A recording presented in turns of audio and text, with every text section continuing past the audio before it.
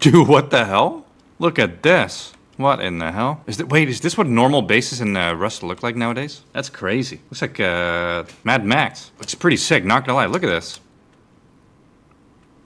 That's pretty sick, no? What's a good comparison for a base? You, this is usually the bases you see, just like a boring, you know, Tower of Sauron looking thing. And then you got this. This makes it feel like Rust. So wait, so which one is better? Is this one better or this one? Which one is better? The tower? The overwrought? The Mad Max one is better? This, this is the superior base right here. This is the superior base. Oh yeah, yeah, no windows, right? That's a very good point. This one has no windows. This one has, it's like uh, minimalistic. It's a minimalistic approach. Man, I like this base. When I think of Rust, like what it should be, this is what I think of. Just like, uh, it looks like kind of makeshift, makeshift. Even though there's a like, uh, is this perfectly symmetrical? Look at this. That's crazy. Nice voice crack in the morning. Is this perfectly symmetrical? What in the hell? This has to be from a guide somewhere. No one made this on their own. No one made this on their own. No? This is definitely from a... It's a YouTuber base? Yeah, no one made this on their own. Like, oh, let me make this base. This is like, uh, they watched a tutorial. For sure. Look at this. It's perfectly symmetrical. Yeah, this is what I think of when I uh, open Rust. I think of like boring bases.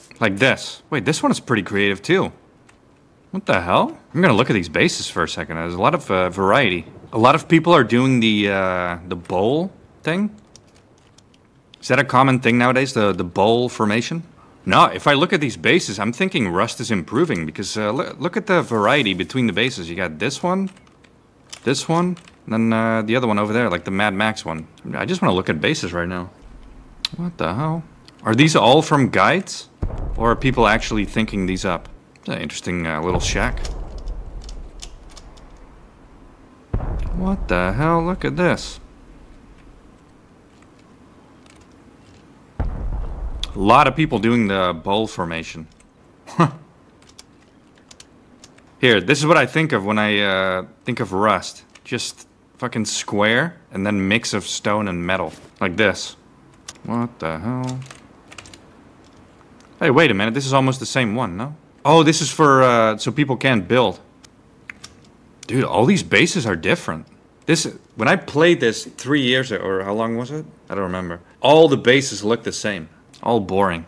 Wow, this one sucks. Oh wait, because it's broken down, right? It's destroyed. You know what's funny? I uh, played this game for a long time. Let's see how many hours I have. I've played this game for 1,300 hours, and I don't even know how to do the blueprint stuff with the weapons. Like how to make a weapon? I just spent everything on trolling the shit out of people. I don't even know the basics. I have no idea how to do the whole blueprint thing. it's like the bare basics of the game, right? Like knowing how to craft a gun. I don't. I don't even know how to do that. A lot of hours though, 1300. I think most of that was uh, Rust admin. Okay, this one is just straight up ugly. I'm sorry. The fuck is this? We're gonna do some base ratings today. This one I give a four or maybe a three. Yeah, even this sucks. Very dangerous. What the hell? Oh, it's look, it's so bad it's already falling apart. It's so terrible it's falling apart.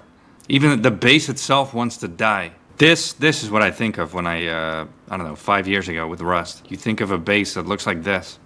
This guy running his own farm or what the hell? This guy has to be autistic. Look at this. Just a bunch of windmills, small shack, and then a shit ton of wires in the house. That's autism. Yeah, this one is pretty boring too. This is what I remember Rust bases to look like. Like just made out of iron. Just one big tower.